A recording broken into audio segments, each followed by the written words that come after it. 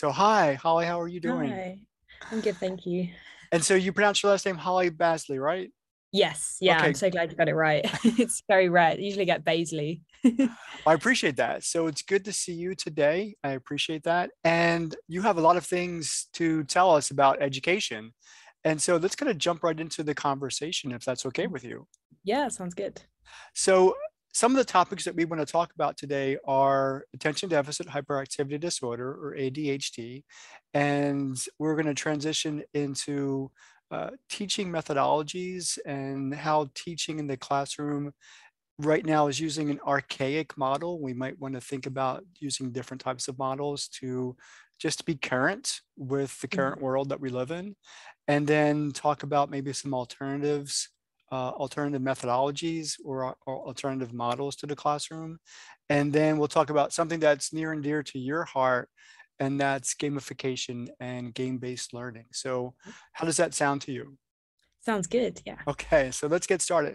So first, just based off of your understanding, let's define the term ADHD. So in your perception or from your experience, what is that and how does it impact the classroom?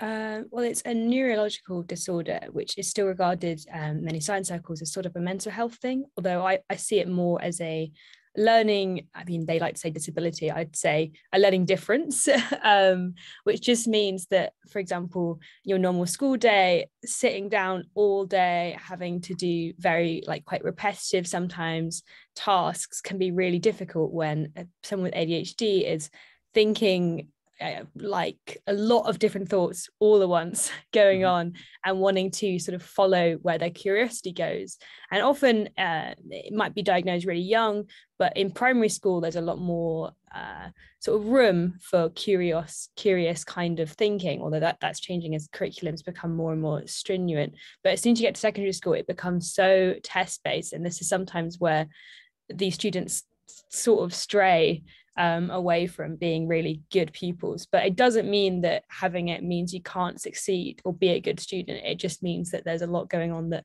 a lot of teachers and families might not realize. So have you experienced students with ADHD in in in your setting or well, let's start there. And because I have got some follow-up questions. Yeah. So uh, I guess there's two things. Um, I found out last year I have it myself. Okay. so that that was a big thing in a sort of journey of discovery and doing a lot of research.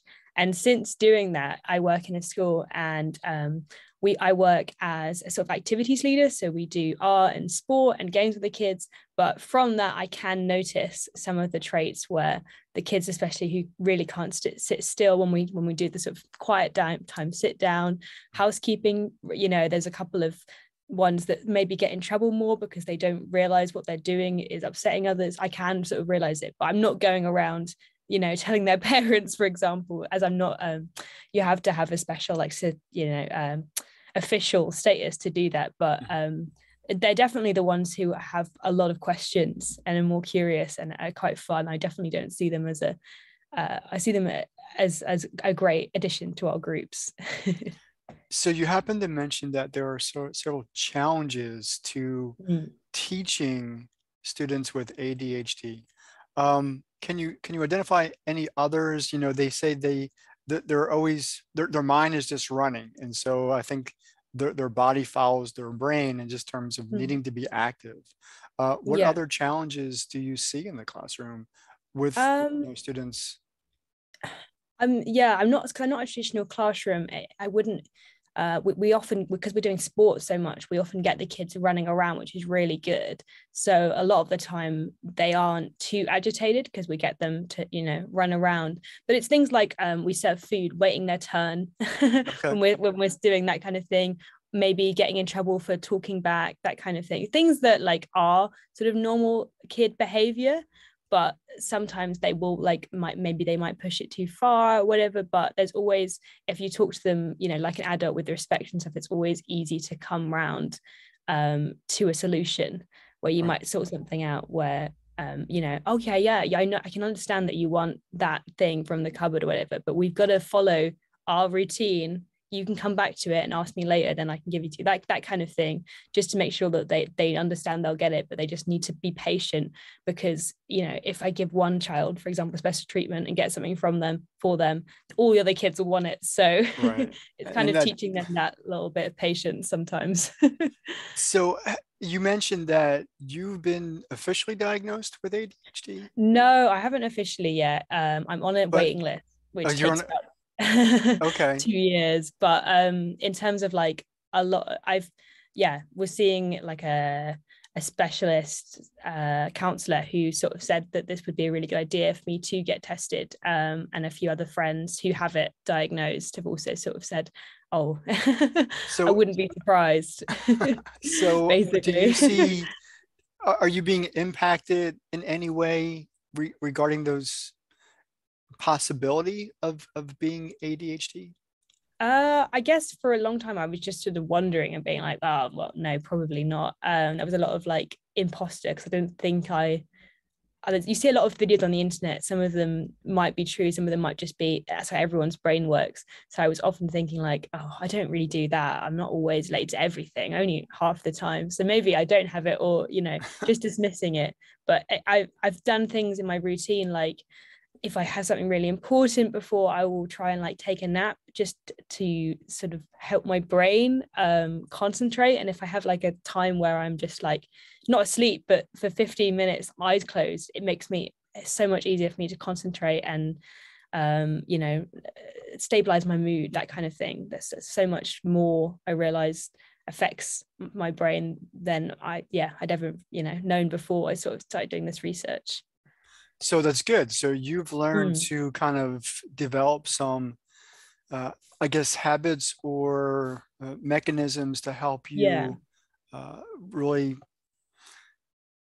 and I guess is the best way to put it, stabilize your condition or at least work with your condition so it's beneficial. So you know how to make some adjustments throughout the day so it doesn't negatively impact your performance. And so yeah, um, definitely. Definitely make adjustments because I am tired like I think 8% of the time. I was I remember being at university and just complaining to my friend. He was like, You say you're tired every day. And I'm like, Yeah, I don't know. I'm just like working all the time. And it's just so everything is so tiring from like when I get up to when I go to bed. And now I'm starting to be like, oh, maybe it's because there's so much going on and I'm trying to do so much that I need to just take take lots of breaks for my brain to sort of catch up with what's going on. and I think that's a good thing. So yeah, definitely a good thing. so let's go ahead and transition to uh, two mm-hmm. of your favorite topics, and that's teaching and that's uh, gamification. So let's talk about teaching a little bit because mm-hmm. you suggested earlier that the classroom teaching model, and I think this is globally accepted as true, we're still using a model that's 100 plus years old, uh, mm-hmm. fa- factory based learning model. And with our current state of affairs in, across the globe, you know, we, we're wanting to teach either project based learning or encourage creativity, intuitiveness, mm-hmm. and things like that, which the model that we're using would not inspire at all. So, how do you see what, what is teaching like, for one thing? And then, how do you see some possibilities that we could kind of change it to match the current needs for learning in the classroom? Mm, uh, it's a complicated question because it like everywhere you go, it's so different. Like, for example, in I think it's Thailand and Dubai, they're trying out all these different kinds of project based learning, which is more engineer almost based, where like you'll have a topic and you're going to dissect that topic through loads of different activities, hands on ones, maybe some writing ones, maybe ones related to maths, and then you go about it that way. But the way the structure of the school works here is it's like, right, we're doing English, we're doing this particular author, we're going to sit down, read, um, and then I don't know, write about something. And that's kind of how all of the subjects are. It's like, right, we're doing this, write it down, read it. And um, yeah, for a lot of students, I just I think that is limiting creativity, but um, it's also really hard to make everything hands-on. So it's kind of like finding a balance between doing stuff that's sort of practical and quite fun and maybe gets the kids. For example i remember in a science class when i was in year seven we went outside. Outside's like so so exciting when you're a kid during lesson time.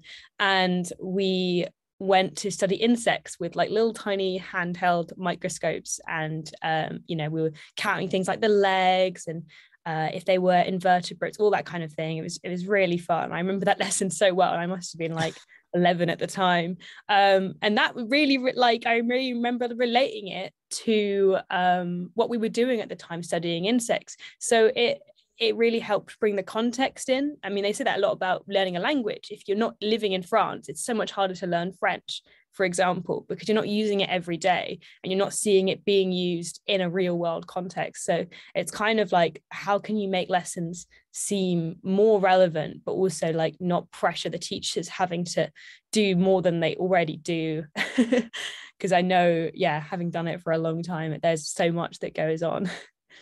So you you talked about remembering a very specific activity because you mm. went out and actually did something. Yeah. So from the other things that may not have been impactful in your past growing up in school, um, did you not remember a whole lot? And is it yeah, just those? much. you don't remember much. We're gonna. I'm gonna take really? that out of the recording. So uh, uh, no, sorry. I'm only kidding. We might keep it in if you want. Um, no, I do so, remember being at school, but I don't remember, for example, lessons. Uh, I just remember that it was a lot of sitting down. And I, and I think and, and that's really the point. I, I think you're right. Mm-hmm. I think we we uh, students and I have a daughter who's 11 years old. Just mm-hmm. tends to we're we're in the we're in that moment. We're in in that space, but we may be thinking of something else or five or six other things other than what the teacher is talking about. Because mm-hmm. as you said, there's no context to it. It's just either words coming out of somebody's mouth or words that we're reading mm-hmm. in a book. Um, and there's no structure around it. So it may make uh, learning a bit different, difficult. You know, we, we talk about um, immersive learning or immersion you know put you mm-hmm. put yourself in in that perspective and so i think that's what project based learning really does and I, I like it because it's agnostic of content you can you can really do mm-hmm. Some really good things um, you know, with that model. But your model is is game based learning and, and gamification yeah. which is a little bit different. And so i've kind of been looking yeah, into gamification. What's your perspective of of gamification? So yeah, it's different to project-based learning, although you could sort of include it in a sort of project way. That there is definitely like links you could do where you could you know learn the game and then see how the game applies to everyday life that kind of thing. But uh, the way that my games work is i often want to get the kids up and moving and then relating the games to everyday life. So i have a game called reaction which is about materials and reactions and uh, sort of chemistry for mainly primary but it can be adapted to sort of year sevens and a bit older. Um, and I get them to hold these cards with things like the words wood and metal and I first relate it to their favorite game, which is Minecraft. Um. They always love when I talk about Minecraft. And I'm like, you know, Minecraft, you know, that we, we collect, you collect these materials, which are real world materials, although there's, you know, not everything in it is fully accurate. You don't have zombies running around. They are building things and they're spending, you know, a long time after school sometimes on these things. So it's good to sort of bring it into their own lives. And then I, I you know i'll get them to stand up and say if there's a child that's holding wood i'll be like okay what around you is made of wood you know name some things and then we think about the properties of that material is it a good building material? I have some amazing conversations with the kids when they have the card plastic because they always say plastic's terrible. We shouldn't be making more of it. It shouldn't be in the ocean. So mm. it brings some really interesting conversations from what they're absorbing in their own mm. lives that they really are anti-plastic and you know they're thinking about you know the sustainability of materials um, as well as you know wood lights on fire metal rusts that kind of thing. And it helps them to sort of relate chemistry to everyday life and think more about the chemistry is more than just molecules it's kind of everything you know that's made up around us. I think that's so important. Um, than a normal lesson where you're just sort of writing down. I remember like chemistry being in the classroom being like, what are these things, moles, medium, and mode? I really don't understand. Like, how does this relate to my what I'm going to have for lunch today and what I'm going to do when I go home? you know? So yeah that that's one like thing. And another game i have is something i developed weirdly before the pandemic but it's all about viruses and bacteria and how they um come how we come into contact with them. And you're basically going through a board and and collecting these viruses. Well not collecting but unknowingly not meaning to pick up these viruses bacteria question uh, infections. And the students ask each other from across the board whether they would need to take antibiotics. And it's a game that basically teaches students the importance of not misusing antibiotics, which is another sort of issue that I'm very passionate about. And again, with that game, I've you know related to other board games they might have played in the past, like whether it's Monopoly or Ludo. Um, and yeah, that's something where I've played it with schools in sort of half an hour gaps and if they you know they always want to come back and play more they're always like we need to play longer. I haven't finished. I need to win you know? I really want to do it. And they the learning like it's still happening but they don't always realize it which i think is really good. So i think i think one of the values uh, that we hear about in terms of gamification or game-based learning is uh, the engagement factor. The engagement is mm-hmm. higher than typical lecture uh, for students. And also uh, we infuse rewards as mm-hmm. not just you know uh, grades like a test grade but you know rewards sometimes there's a leaderboard you know who's who's got the top score second highest third highest so yeah. so it, it, it, kind of excites students to to play but in order to play you've got to learn and demonstrate what it is that you're learning so do you mm. do you see those kind of things in in your classroom definitely. Yeah yeah the reward stuff um definitely helps um and like when i give them feedback forms and stuff and ask them to do it the majority of the time they're like it was so much fun. Like that's having the fun element there. I know it's like hard to get a balance between fun and actually learning stuff. So i'm constantly developing to make sure it's kind of you know the same fun and learning 50 50 or at least possibly maybe teachers might want 60 40 for the the fun side. But um you know the the learning is still taking place. And what's even more amazing is afterwards, the kids will then start to discuss how they could make and design their own games. So okay. there's creativity that comes out of it. They could be like, wow, this game is so simple. Why don't you adapt it to be about pigs or I don't know, something they're interested in? And that's like a, an extra subject, maybe like a not a subject, an extra uh, addition where they can go home and for homework think about how could I make my own game based on something I'm interested in? And it's keeping that inquiry, you know, this kids are so inquisitive and keeping that really active when they're thinking about learning and, and almost like designing their own ways to learn would would be amazing. yeah, I totally agree with that. that. Have have you have you tried that as a homework assignment to kind of either individually or students working in pairs or small teams to kind of create your own game because then they have to they're forced to learn a bit more about the topic and then create a structure around that so that we can f- reinforce it I haven't yet, but it's something I am going to be doing. Uh, it's more of a I want to do it towards the end of term. There's quite a lot of other stuff I have to do at the moment, but yeah, that's definitely something I'm going to be doing. excellent, excellent. So you've mentioned two games. Um, does your virus bacteria game have a name? Uh, yes, it's called Biotical, the game of resistance. Oh, and. I made it before COVID, and now I'm adding cards in with the different COVID 19 variants. Um, it was something when I used to explain it to kids many, many moons ago. Um, so I, I should bring the context. I made it as an art student uh, when I was at university. Mm. I did this course called interactive art. So it was about making art that people could, you know, like communities, school groups, whatever, into to sort of engage with.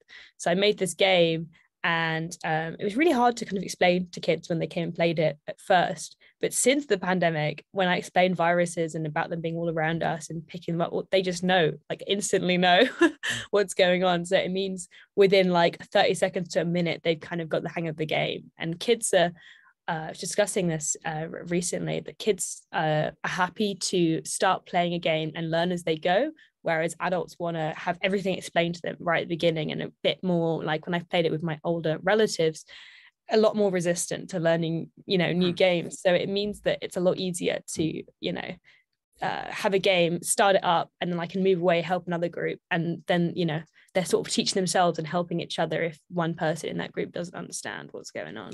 That's that's a really uh, interesting perception that students mm. are want to jump in and start, you know, quote yeah, unquote, with. playing the game, and then they'll learn as they go. And and your experience is that adults want to lay it all out for me give me all yeah. the parameters give me all the rules give me yeah so that's really interesting because that actually kind of is a little bit con- contradiction contradictive of of role playing games especially at start and that's something that's kind of near and dear to my heart is mm.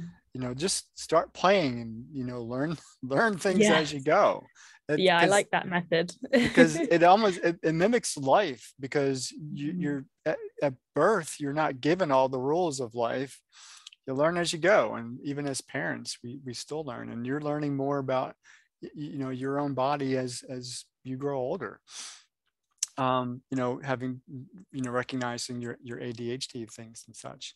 So yeah, we're, yeah. we're, always in the process of, of, learning. So we can't have all the rules at the same time. Uh, So that's a really interesting perception. Are there any other? So I was going to ask you. So you've got two games. Are are there any other games that you're really excited about using for your students? Um, so I'm in the works developing games uh, with a friend this time, which is exciting. So it's not all on me um, which hopefully means we'll be able to do it quicker. We something we found at school uh, from being women was that when we were taught about our bodies and hormones and the menstrual cycle, that it was just very like one lesson, half an hour, or maybe like do not get pregnant. This is how you shouldn't get pregnant. We were never taught about the impacts of the pill, uh, the impacts of hormones on your body, how some hormones like estrogen and will come at certain times of the month and can be really beneficial to making you really uh, proactive. And then some hormones will make you really tired and low all the time. And we want to divide design a game basically about the hormonal cycle um, to take into schools to help students you know learn about that because it's something that we feel quite angry about and we've been doing a questionnaire we've been running to sort of find out what people know and what they might want to know about and um, yeah it's been really interesting. It's something that's kind of hard to adapt to include 50% of the population to include guys but we're trying to figure out how we could include maybe like a uh, I don't know, an additional pack where it's like this is testosterone going around the board kind of thing. and the sort of flows that you have with testosterone just so that it's um you know we're not only you know uh, we're missing out on some people who can play but if if we do get uh, men or people who who don't identify as, as either sex to play then um be really good because it will create those conversations around hormones and our bodies anyway and hopefully like make the taboo of um you know get, getting your first period or whatever a bit less a bit less of a taboo. But yeah that's a project that we've only really recently started so i don't imagine it being finished until maybe towards the end of the year. So so what motivated that? That's a really interesting project to to kind of think about. Yeah uh, both of us read a few books. Uh, one was The Pill Changes Everything, and the other one was Period Power by, oh, I can't remember the authors' names right now, but you can Google both of those. Mm-hmm. And both of them were like, whoa. So there's so much research in those books um, about how, for example, the pill like affects your hormones, whether that's positive or negatively. Um, and it does a lot more than just stop your your your periods um, which we both felt we both like went on it went off it sort of thing and felt like it had slightly negative impacts. But i also hear that for some people it, it has positive impacts. So it's kind of making sure we're not going into this biased. And second the other one was thinking about like documenting uh, your cycle to figure out when you're most productive and when you can, for example, plan 10 Zoom calls in one week, which I've sort of done this week. And now I know next week I'm going to need a bit of a break um, because, yeah, like the women's body clock is not designed for the same sort of 24 hours as men. Like we're active at different times. Like I often have huge surge of energy in the evenings, which is like not great when you're trying to wind down to go to sleep. But between around sort of 3 to sort of 7 p.m., I'm like so completely drained. And I don't know whether that's ADHD affecting it or just like my general who I am, but it's really interesting to I'm now documenting every day sort of moods and general energy to see how it changes throughout the the monthly cycles. So yeah, it's kind of a passion project from both of us and we want more young girls to not be so afraid about like talking about it or thinking about it and um, not being afraid as well as like having big mood swings because they're just a natural a natural part of life.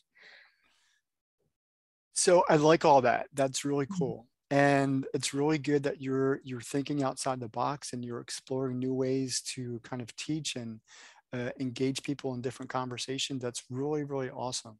Uh, before we kind of wind up our conversation are there any other thoughts uh, that you're inspired to kind of tell our audience? And then how can people get in touch with you? Because i'm going to leave that in the youtube description box. So first you know what do you got eh, other than this this other project any final thoughts? Um oh uh it's a good question. Um i think it's just um whenever you're i don't know thinking about teaching or thinking about learning be open-minded to trying out stuff where you can get children to relate what they're doing to everyday life. Even if it's just one sentence you say like i don't know we've done stuff about clouds today go home and just look at the clouds for a couple of hours. That's like a primary school activity right? You wouldn't be able to do that with secondary school students. But you know just something like that where they're like oh wow yeah you know i'm going to think about clouds all night and that's like my homework whatever. Um something where it's just one thing that they can relate because i just found like a lot of the time when i was in school especially when you're learning things like maths it's so hard to relate it to your everyday. Um so yeah that's probably it. And then how can people get in touch with you what's the best Uh, way? so probably my email address i check that regularly which is enquiries at hybrid-games.co.uk okay. Um my website which is www.hybrid-games.co.uk that's currently um i'm remaking it but it, it is live. I'm just if you visit it it might be down for one day but i promise you it, it is there um or connecting with me on linkedin because i use that a lot for business um uh, I don't tend to regularly use Instagram, but I'm trying to. And yes, and YouTube is something that I want to. I'm going to be making more content very shortly. So excellent excellent so what i'm going to do is i'm going to put all of those contact points in the description so that at any point in time you know anybody who's watching this can get in touch with you okay yeah, that sounds great. all right